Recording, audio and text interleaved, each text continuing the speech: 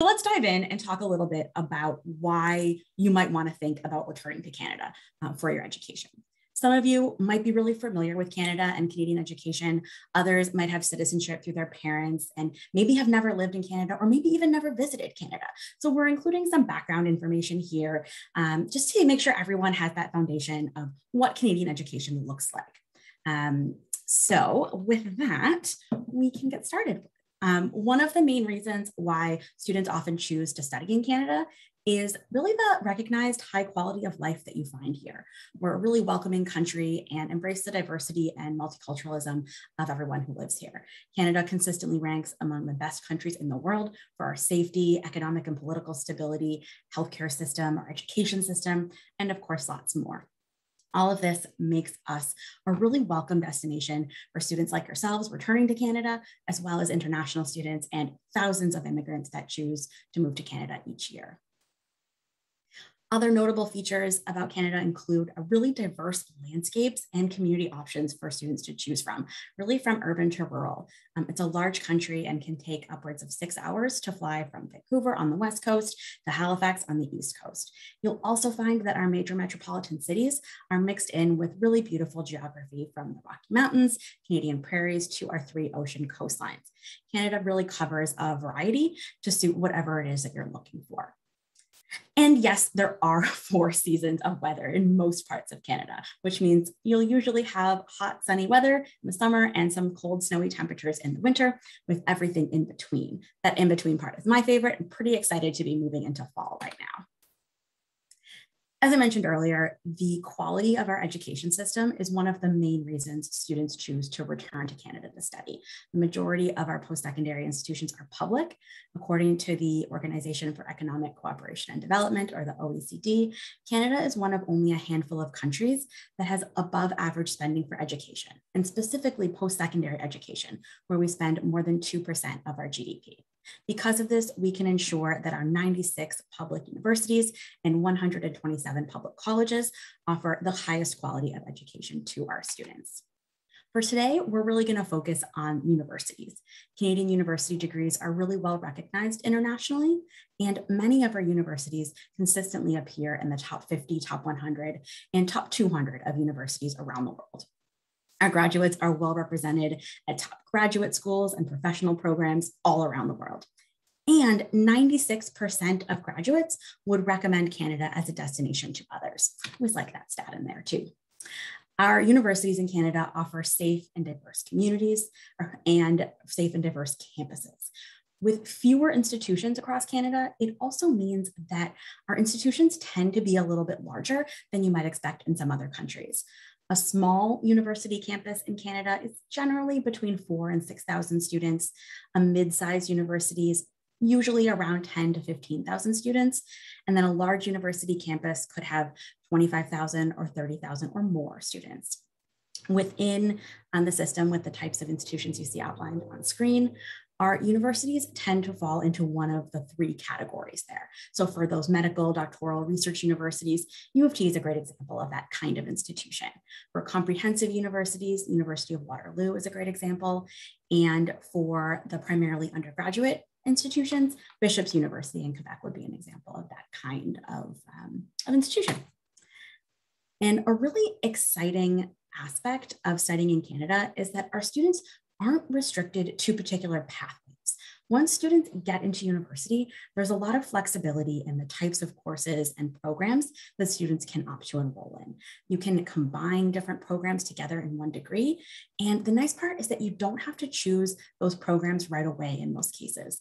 Students usually have at least one full year to determine which specific majors or minors they would like to pursue.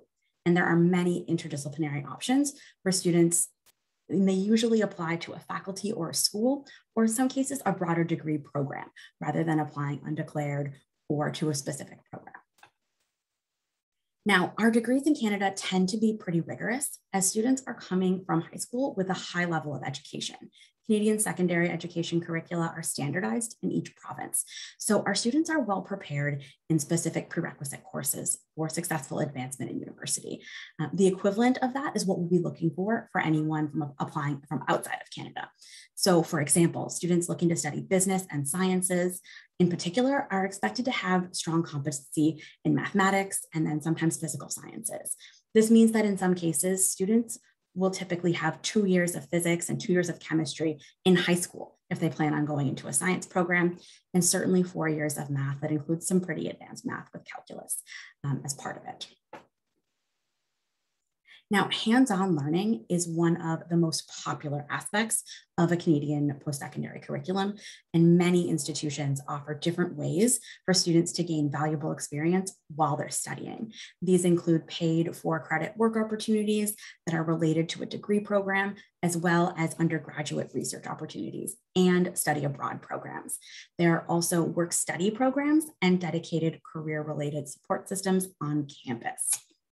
In terms of tuition and what you might be expected to pay as Canadian citizens or dependents of Canadian citizens, you will be eligible for the Canadian rather than the international tuition at U of T and at all Ontario universities. There is no requirement to have residency in Canada or Ontario to be eligible for this domestic tuition. There are a number of additional exemptions from international fees. And if you need more information, our student account site has some really great details. So maybe we'll get that link shared in the chat for you too. Um, and I can do that actually. Um, as our education in Canada is governed by the provinces and territories in Canada, if you're looking at universities outside of Ontario, you'll probably want to check their specific guidelines as well. So with that kind of study in Canada overview, we're going to shift gears and I'll invite Maria back on screen. There she is um, to give you a quick overview of one of Canada's best universities, the University of Toronto. So Maria, it is all yours. Perfect. Thanks so much, Emily, for that wonderful overview of studying in Canada.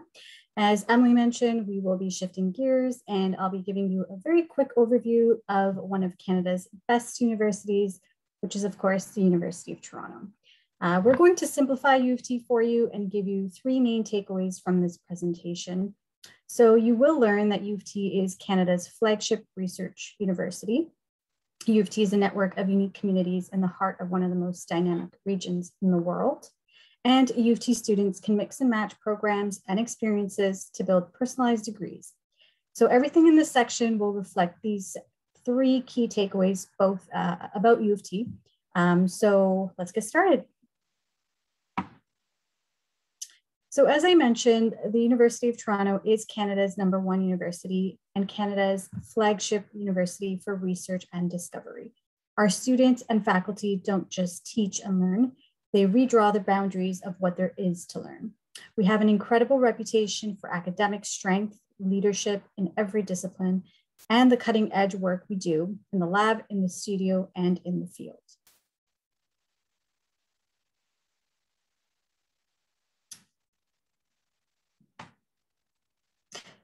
It's, it's no wonder then that we're not just Canada's best university, we are one of the world's best universities. And when you graduate with a U of T degree, you can take it anywhere and be sure that any employer will be impressed. A U of T diploma is a globally recognized mark of quality and versatility, and a big part of why we have alumni living and working in 190 countries.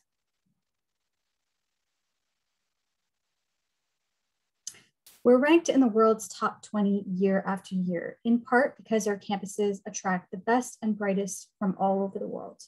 A lot of people know that insulin was discovered at U of T, but did you know that stem cell research started here too? The world's, the world's first nerve transplant, the world's first electronic pacemaker, and the world's first treatment for Hodgkin's lymphoma. These are just a few examples of the many contributions that we've made. We've also produced Oscar winners, Olympic athletes, prime ministers, Nobel laureates, best-selling authors like Ma Margaret Atwood, Ma Margaret Atwood and Malcolm Gladwell. Now, the second takeaway is that U of T is a network of unique communities in the heart of one of the most dynamic regions in the world.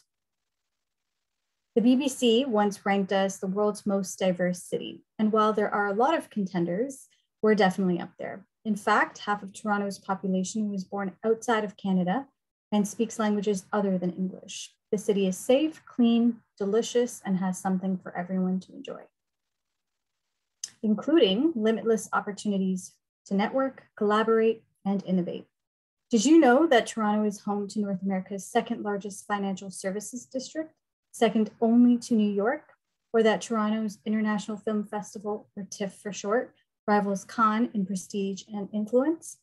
Anchored by the Toronto Stock Exchange and one of North America's largest design industries, the GTA is an economic powerhouse whose major industries include biotechnology, healthcare, fashion, and aerospace engineering. And not only are our campuses nestled in Canada's economic heartland, we're just a stone's throw away from world-class museums, restaurants, open air markets, parks, galleries, street festivals, and live music for every mood. Our central location has also made us Canada's largest university with nearly 200 academic departments and institutes and 10,000 courses, the, the country's largest selection, students have the advantage of choice. And one of the first choices you'll be making is which campus you'll want to study at, because we have three amazing options for you. All three of our campuses are located within an hour of each other, offer the same top quality education, and are self-contained. So when you graduate, you'll earn the same U of T degree. The campus you choose makes no difference. Each offers a distinct environment and has some unique features. So it's more of a matter of personality and fit. But remember, U of T is one fantastic university. We've got three campuses, but you'll receive the same diploma um, from all three. So let's take a quick look at each of these campuses. We'll start with U of T Mississauga, which is about half hour west of downtown Toronto. It's in the city of Mississauga, and it's a mid-sized campus with about 16,000 students. It's also located on 225 acres of gorgeous green space with trees, woodlands, and gardens. Most of the buildings are newly built, so it has a very modern feel. Now, U of T St. George, on the other hand, is filled with heritage architecture. It's U of T's founding campus, and that means it's right at the heart of downtown Toronto with 35,000 undergraduate students and a wonderful mix of Gothic buildings and brand new glass and steel towers and labs. Old and new, something for everyone, just steps away, uh, just steps from all that the city has to offer.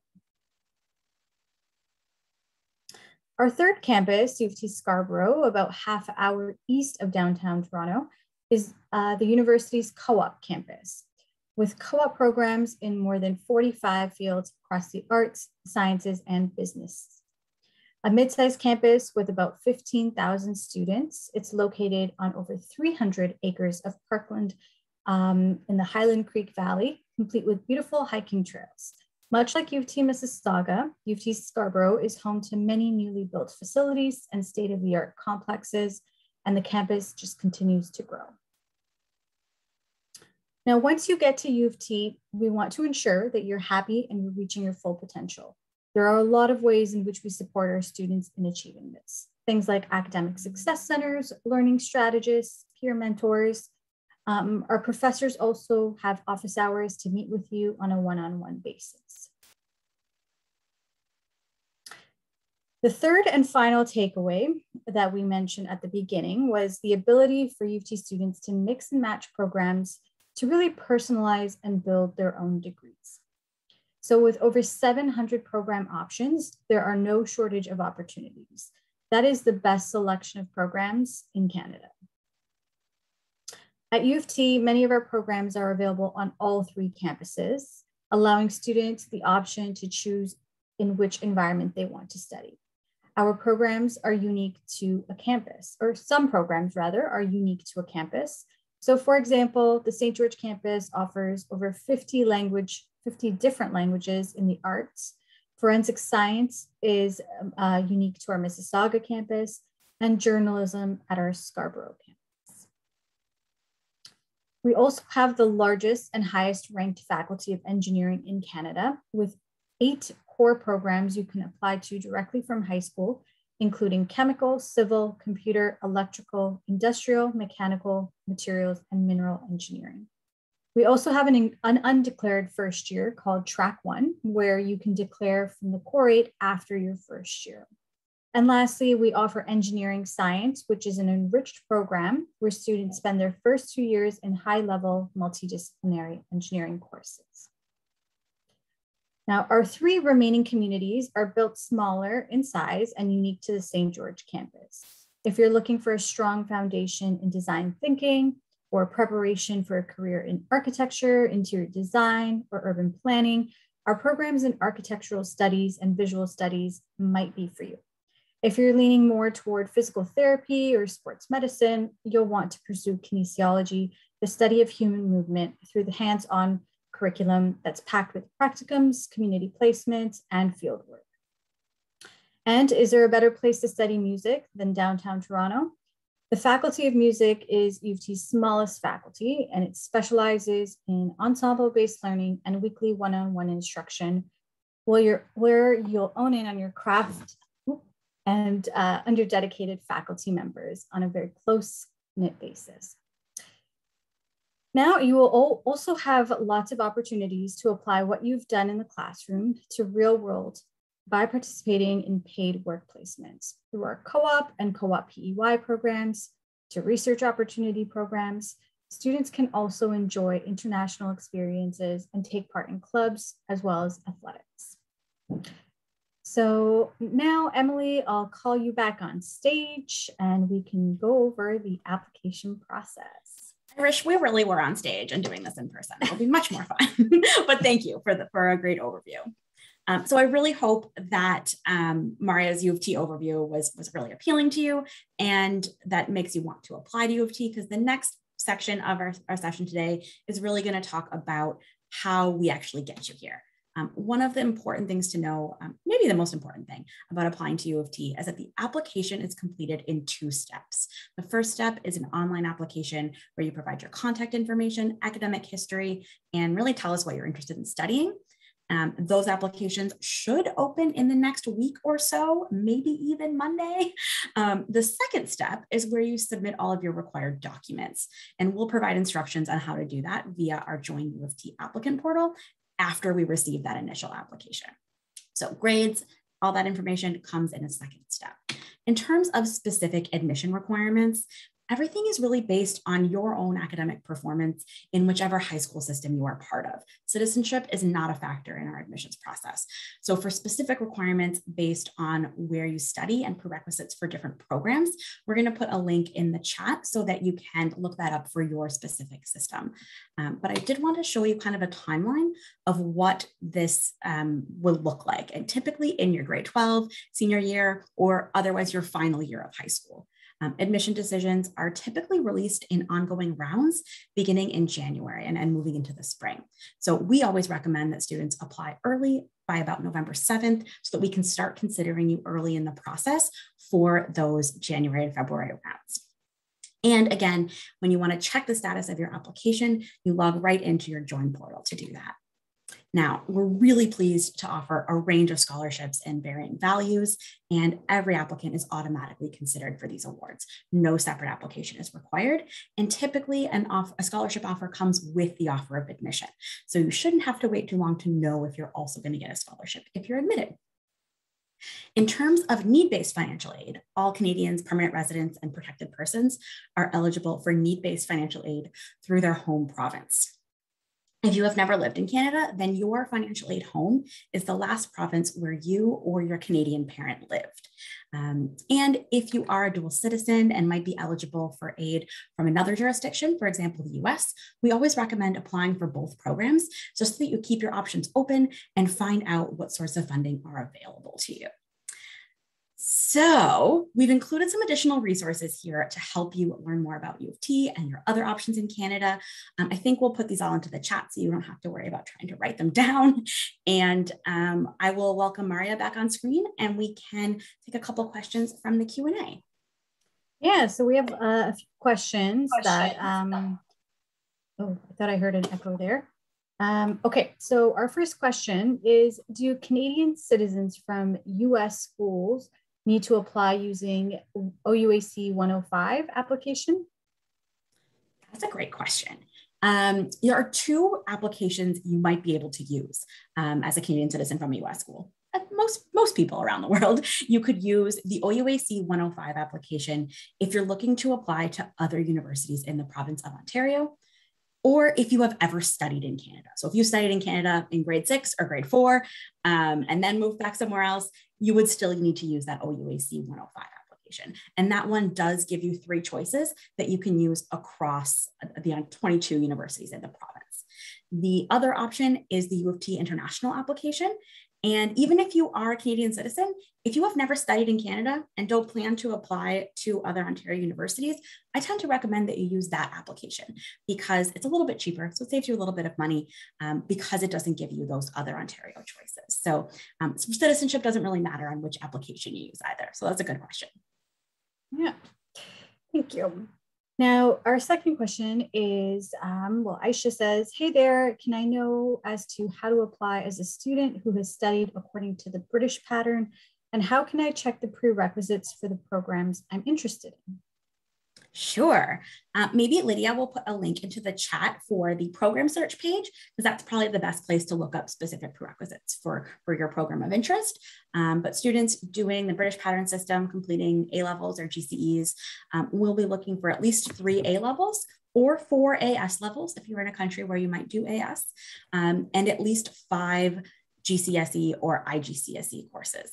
Um, you'll always have to present English. This is for everyone, not just students in the British system. We'll always be looking for an English in the final year, but for students in the British pattern system, you could do that at IGCSE or at GCSE instead of AS or A level. That would that's still acceptable um, for an English course, and that's where again everyone's required to present an English course. Perfect. Um, Kareem's asking, what are co-op degrees? Oh, Great question. Co op is where you have paid work terms as a part of your academic program. So at U of T, um, we mentioned, uh, Maria mentioned that U of T Scarborough is our co op campus, and that is where um, we would host them. There's over 45 programs across art, science, and business where you could do two or three or um, it's really no more than three, but uh, paid work terms as a part of your program. Um, you could even do, they're often four month terms, but you some cases you can combine them and do an eight month term or even a 12 month term in some cases too. And um, because our Scarborough campus operates on a trimester system, even if you do three co-op placements as a part of your program, you can still graduate within a four-year timeline. Um, you don't have to, you can take a term off if you want, but you can if that's a priority for you. I hope that helps. Okay. So um, Emily, we'll take one more question. Um, even though we do have a few questions, um, we will uh, urge you to join us for our 4 p.m. Q&A um, because these are all really, really great questions and we do want to answer them all. Um, but the last question we'll take for this session is, if you apply early in the year, such as October, but get denied very early, is it possible to apply again and be considered later on? Irene, that's such a good question. And I'm really glad you asked it. We don't tend to make refusals early in the process. Those January and February rounds, we don't make refusals at that point. We normally just wait and see um, and wait for more grades to become available. So you submit more grades to us from throughout your final year of study and then we consider you again in the subsequent rounds. Um, there might there are rare cases where we might make refusals. Often, if students like are not in grade 12 and are applying from grade 11 or aren't taking an English course in their final year.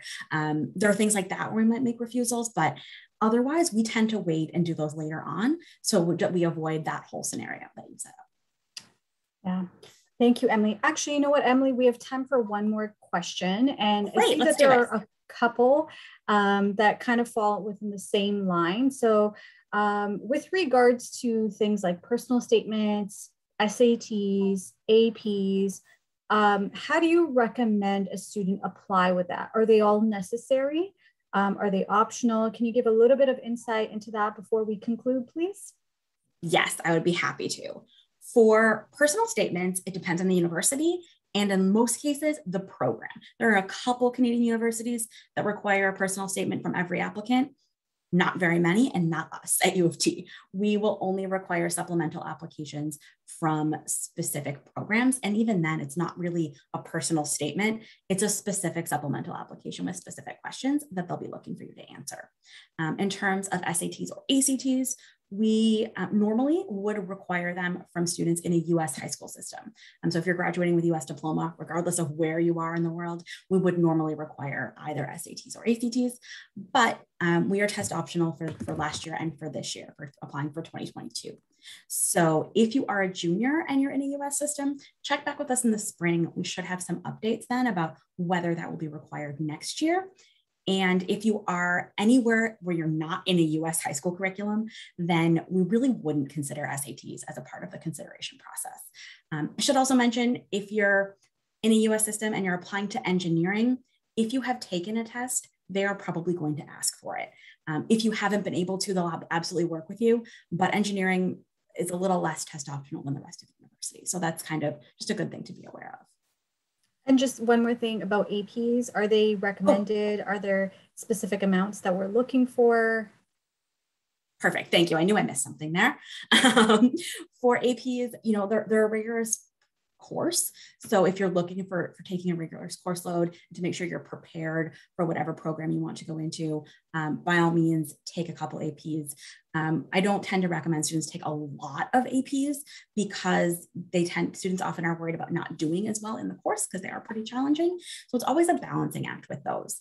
Um, it's, it's entirely up to you. We don't have specific requirements for APs.